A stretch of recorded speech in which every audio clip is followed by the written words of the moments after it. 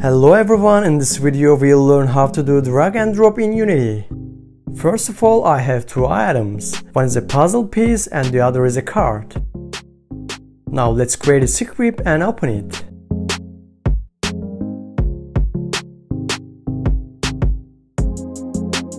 Let's define one rect transform and image. We'll use rect transform to change positions and image to change color.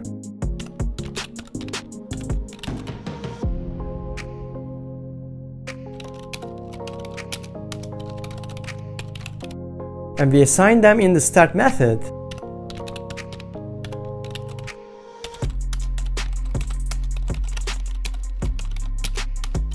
Now we'll use the Unity Engine Event Systems library. In this library, Unity has interfaces that we can use for drag and drop. These interfaces make our job easier. Now let's add them and import their interfaces.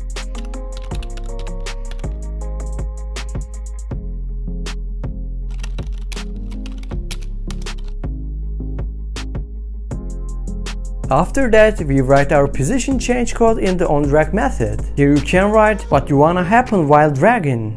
In the onBeginDrag method, we write the code that makes the image transparent. The task of this method is to do something at the start of the drag.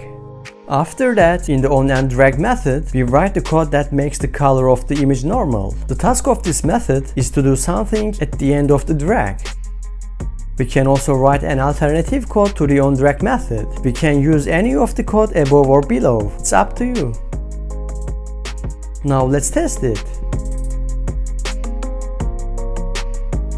As you can see, I can move items. During movement, the color of the item changes and returns to its original color when the drag is finished. That's it.